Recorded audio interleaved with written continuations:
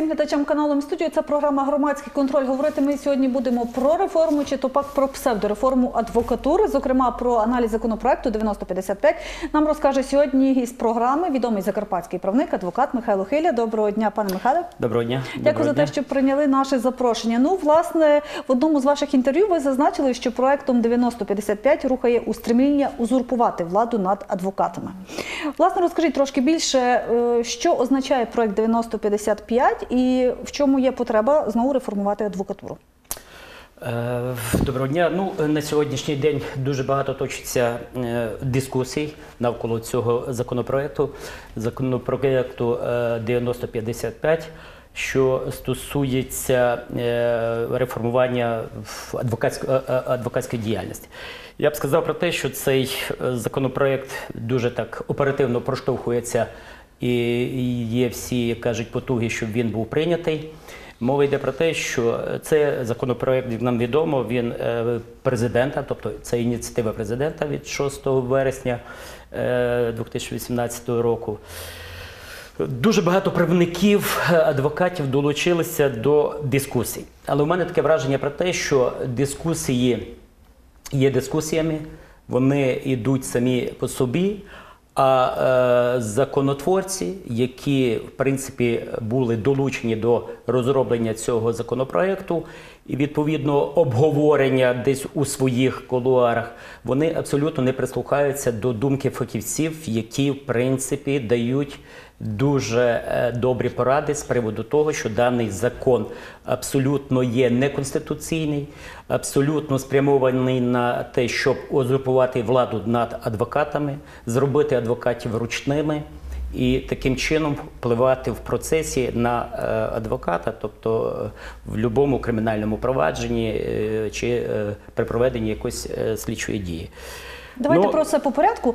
У з- 2012 році була востаннє е, проведена ну, реформа. Для е, чого виникла необхідність знову її реформувати? Так, от якраз хотів почати з того, що у 2012 році був прийнятий закон про адвокатуру і е, е, адвокатську діяльність, е, який на сьогоднішній день діє, який на сьогоднішній день абсолютно якісно забезпечує адвокатську діяльність.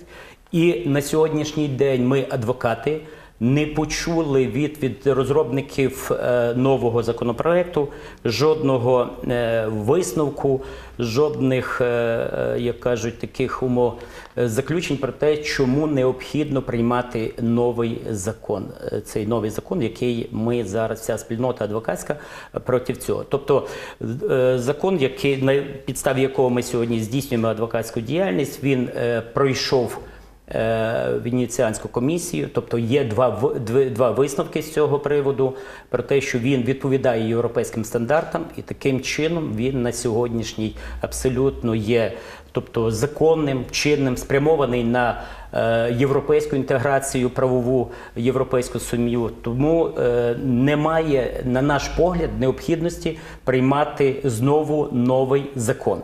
В мене, аналізуючи цей закон, я приходжу ще раз до переконання про те, що це виключно меркантильні, е, меркантильні кі- питання, е, чисто е, питання, які ну, спрямовані, ще раз повторюю, спрямовані на те, щоб адвоката зробити в даному випадку залежним.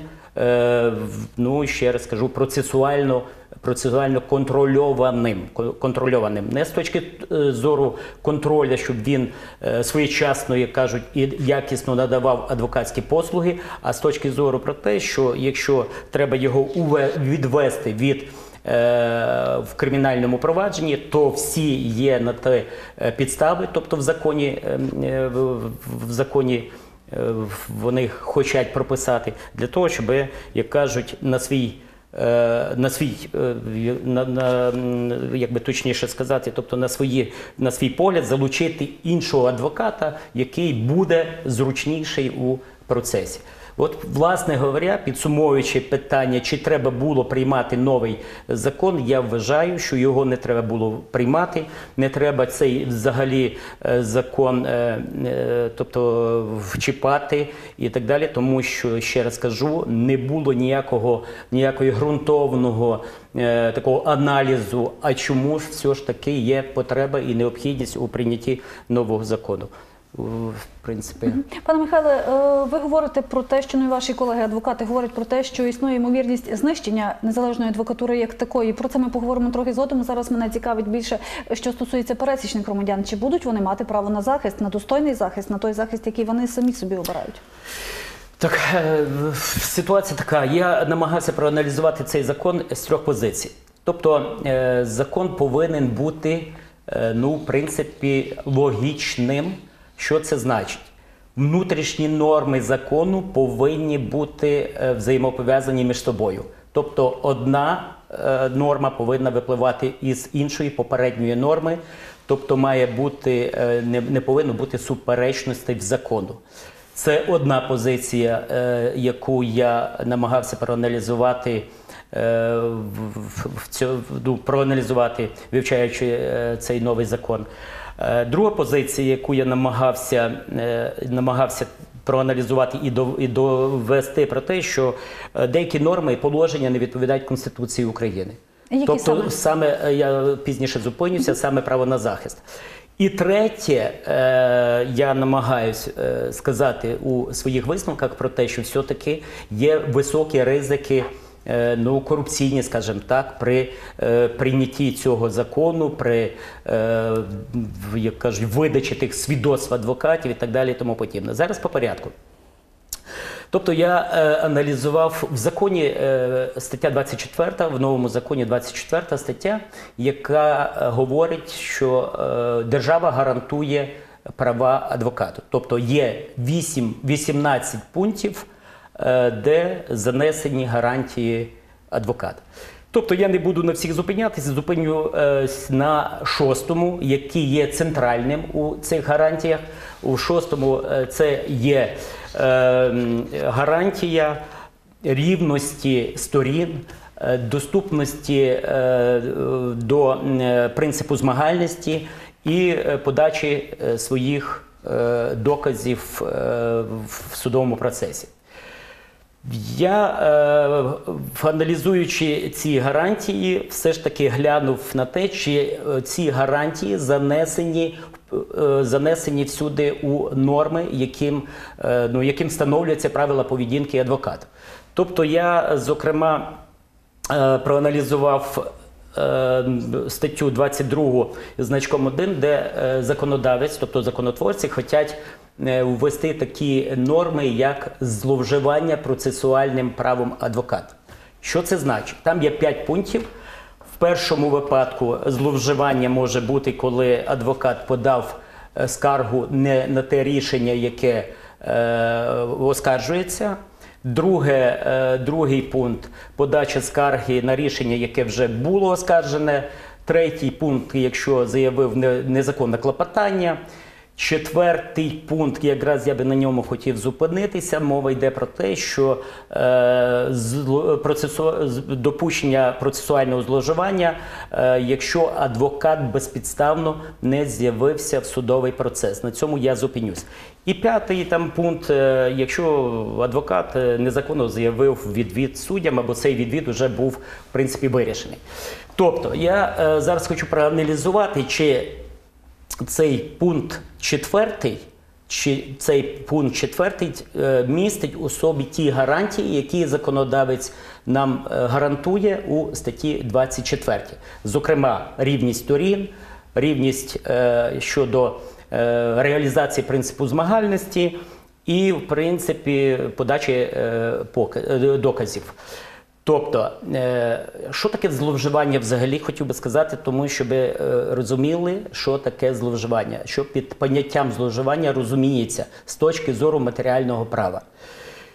Е, В 22 статті, ну, 22 значком 1 записано про те, що зловживання процесуальними правами. Я розумію, у першому пункті йдеться про те, якщо адвокат подав скаргу на рішення, яке в принципі не оскаржується. Можу припускати, що тут е, можна говорити про зловживання. Чому? Тому що адвокат робить активні дії. Активні дії таким чином можна говорити про те, що він повинен знати закон, повинен знати, які процесуальні е, рішення оскаржуються, які не оскаржуються, тобто може мова йти про це. По-перше, для того, щоб приходити взагалі до поняття зловживання, треба розуміти, що зловживання це завжди активні дії. Це завжди активні дії, це завжди умисні дії. І для того, щоб розкрити умис, е, умисні дії, треба обов'язково має бути встановлений е, мотив і мета. Тобто, якщо ми мо- говоримо про те через призму процесуальних зловживань, які викладені в статті 22 значком 1, то ми повинні чітко розуміти про те, що адвокат допускає процесуальне зловживання, таким чином е, хоче, е, як кажуть, Ну, е, можна сказати, е, неправильно е, десь або ну, безпідставно зупинити справу, безпідставно, скажімо, на затягування процесу і так далі, і тому подібне. Тобто, це треба встановлювати, чи він це зробив дійсно навмисно. Ну, знову вертаюся до, до пункту четвертого. Тобто я розтлумачу, що таке зловживання, коли воно має бути. То припустимо ситуацію, моделюємо ситуацію, коли приходить, починається судовий процес, з'являється обвинувачений процес. Ну, адвокат з якихось причин не явився. Не явився, і в принципі, е, в принципі суд, е, суддя говорить про те, що е, чи настоюєте ви на тому, щоб ваш адвокат був в цьому процесі, той адвокат, з яким ви уклали договір. Він е, обвинувачений або підсудній говорить, так, дійсно, я настоюю. Тоді суддя, враховуючи те, що він приходить до висновку, що адвокат безпідставно не явився в процес, виносить ухвалу про допущення зловживання процесуальними правами адвокатом. Тобто, замітьте, написано, якщо підозрюваний або обвинувачений на е, встоює, тобто наполягає на продовженні розгляду справи з участю того адвоката, з яким укладений е, договір. А припустимо ситуацію, якщо він не настоює, не наполягає на продовженні, Або якщо то- він не знає всіх норм. Да, да. То як в такому випадку може бути? Що в такому випадку, що немає зловживань, таким чином, до чого веду? Знову вертаюся зараз до гарантій, де було записано під пунктом 6 е, гарантія рівність сторін. Таким чином, ми ще раз хочемо сказати про те, що яка рівність, про яку рівність може йти мова, якщо адвокат відповідає за зловживання своїми процесуальними правами, а якщо прокурор не явиться, значить він не- в нього немає ніяких зловживань. Ну так, оце, а на предмет, оце на предмет тих гарантій, які держава нам гарантує на законодавчому рівні, е, от, рівність сторін. То я прийшов до рівності сторін. Так? Тепер е, моделюємо ситуацію, якщо обвинувачений, підозрюваний скаже так: добре, раз ви наполягаєте на тому, я даю згоду на е, того, щоб мій адвокат не був присутній в процесі. Таким чином я буду свої інтереси захищати сам. Тепер знову вертаємося до гарантій, які нам гарантує держава в цьому законопроекті. Е, Рівність, е, тобто е, рівні права на реалізацію принципу змагальності. Представте собі, прокурор, професіонал і обвинувачений підсудній абсолютно, можемо сказати, Пересічний громадянин. пересічний громадянин, який абсолютно не знає тих процесуальних вузлів, тих процесуальних, як кажуть, зажимів, якими володіє прокурор. Про яку змагальність може мова йти? Про який рівень змагальності? Тепер припускаємо ситуацію іншу. Е, так, адвокат має, е, тобто суд має право е, призначити адвоката з е, повторної безоплатної допомоги. Тобто, приходить адвокат, так, це дійсно він приходить, і, звичайно, він не може володіти тим ланцюжком доказової бази щодо е, відсутності вини, скажімо, або спростування деяких фактів, як володіє його адвокат, з яким була укладена угода. Звичайно, той адвокат приходить, Да, йому дають можливість вивчити матеріали кримінального провадження і так далі, і тому подібне. Але розумієте, в тих матеріалах кримінального провадження, які є в розпорядженні суду, там немає всієї правової позиції, тих доказів, які, які є у того адвоката, який ну, з якихось причин не явився. Ще невідомо, чи там він явився, е, як кажуть, зловживаючи процесуальними правами. В даному випадку хотів, е, як кажуть, зірвати судовий процес, судове засідання. Таким чином, от яка от мова йде про рівність у реалізації принципу змагальності, які, яка про яку може мова йти е, рівність, е, як кажуть, одинаковий.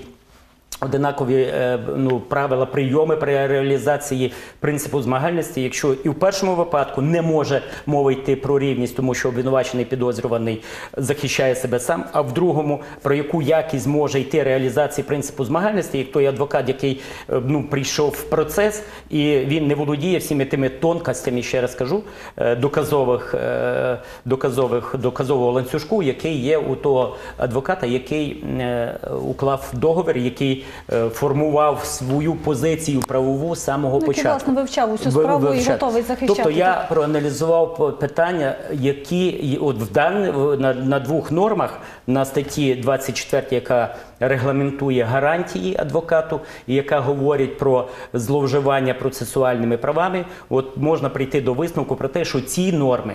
Ці норми мають с- суперечності, не узгоджуються між собою таким чином, про яку про який принцип формальної логіки може йти мова, навіть про принцип формальної логіки. Я вже не говорю про права людини, Ну, саме основні і цінні, які принципі е, Ну, передбачені закладені в конституції і закладені в принципи змагальності. От тому наскільки ми зможемо принцип змагальності забезпечити, е, звідси і випливає рівень е, захисту е, свого клієнта, підозрюваного, обвинувачення. Це одна ситуація. Пане Михайле, про корупційну складову ви згадували, які може містити потенційний законопроект, якщо він е, пройде всі процедурні моменти у Верховній Якщо, Раді. якщо, якщо пройде, якщо е, приймуть все ж таки цей законопроект, і він е, в принципі набуде законної сили, то е, де я бачу, і мої колеги бачать корупційну складову. Зокрема, е, зокрема, я е, бачу в тому, що е, в новому законі закладено про те, що документи, які будуть посвідчувати е, особу адвоката, це буде посвідчення адвоката і свідоцтво адвоката. На сьогоднішній день ми маємо свідоцтво, е, посвідчення, вибачаюсь, і маємо свідоцтво про заняття адвокатською діяльністю. Таким чином, розробники цього законопроекту хо- хотять в подальшому, це однозначно, однозначно прослідковується в законопроекті, змінити 40 е, 44, чотири- по-моєму, 40, 44 тисячі адвокатів змінити свідоц із документ свідоцтво про заняття адвокатською діяльністю на свідоцтво адвоката. От зрозумійте, змістова нагрузка міняється пару, е, як кажуть, слів. Е, нічого по змісту не міняється, і то, і то породжує права е, для адвоката занять. Е, Але його треба за... отримати. А його треба отримати. Таким чином, я так розумію, і розуміє спільнота, адвокатська спільнота, однодумці, тому що є адвокати, які в принципі щось там вбачають позитивне. Хоча це, хоча не бачать в принципі оцих нюансів, мабуть, і 40 Чотирьом тисячам адвокатів хочуть змінити е, свідоцтво адвоката, тобто свідоцтво про заняття адвокатською діяльністю на свідоцтво адвоката. Як це буде відбуватися? Кого уповноважать е, на ці дії? Ну нам поки що невідомо. В законі про це нічого не сказано, але ми е, це розцінюємо, що це буде е, такий елемент влас, ну такий адміністративний елемент впливу на адвокатів. В даному випадку е, може йти мова, а скоріше всього така буде мова йти про те, що який адвокат не зручний, Ну, незручний, якраз про це хочу і питати, так. Таким, е, таким чином цей адвокат Відфільтрують подальше відфільтрують так? незру- не- незручний, в подальшому він не отримає, е, як кажуть, свідоцтва адвоката. Е, Не дивлячись на те, що я кажу, його ніхто не, не, не перевіряє на предмет, е, на предмет е, ну, знання, е, як кажуть, законів і так далі. Тому подібне чисто з цих формальних підстав. Я не знаю, що ще вони там можуть ну, е, закласти в цю норму, а ну не, в норму, а в закон. Але, власне говоря, тут е, я вбачаю корупційну складову однозначно. Пане Михайле, таке питання до вас. Е, Вибачаю, що перебуваю, але чи не внесе це певний розбрат у спілку адвокатів, усі адвокатські спільноти, які є на загальнодержавному рівні? Чому? Тому що ось ви самі кажете так, що це буде можливість позбутися певних, скажімо так, у лапках незручних адвокатів. Тобто, чи не почнеться певний розбрат, якийсь хаос в рядах адвокатів, чи, чи все-таки е, всі згуртовано і монолітно виступають проти, можливо, чи висловлюють свою позицію, не боячись? Ну, чесно вам скажу, уже на стадії дискусій уж, е, я прослідковую певний, е, певний дисонанс, когнітивний дисонанс у, де, у поведінці деяких адвокатів. Тобто я розумію про те, що це буде розбалансировка. Якщо, е, дякуючи голові е, Ради адвокатів Закарпаття, де дійсно він е, на сьогоднішній день керівництво ну, намагається, щоб була, кажуть, адвок, адвокатура Закарпаття монолітна, як це говориться, то тут в нас, в нашому краї, в нашому регіоні це вдається. В Україні, бачучи зараз слідков, прослідковуючи про дискусійні ці процеси, які проходять, я вже можу прийти до висновку про те, що е, буде дійсно е, ну, розбалансировка роботи адвокатів однозначно. однозначно.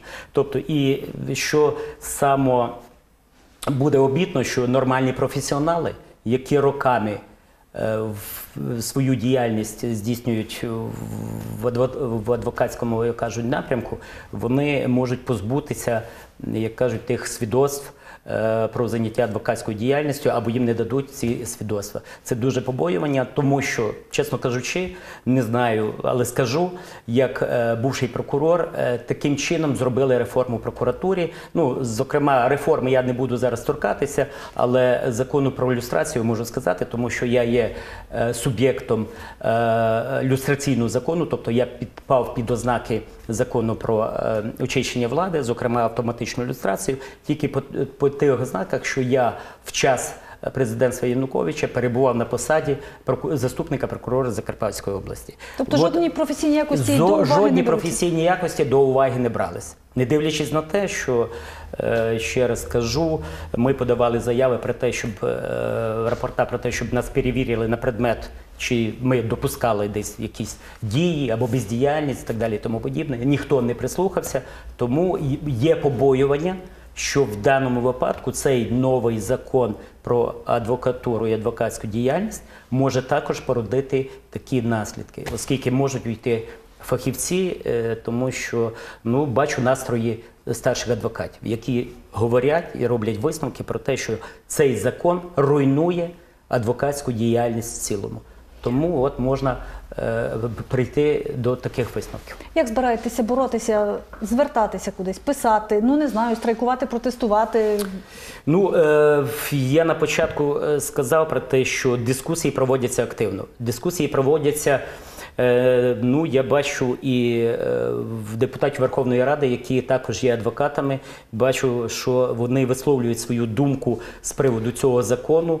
Але ще раз кажу, на жаль, е, це не приймається до уваги. Тобто дискусії проходять на е, високому рівні. Я так думаю, що повинні законорозробники е, ну, все-таки дослухатись до цих процесів, дослухатись не заради того, що адвокати виборюють свої права або якісь повноваження додаткові.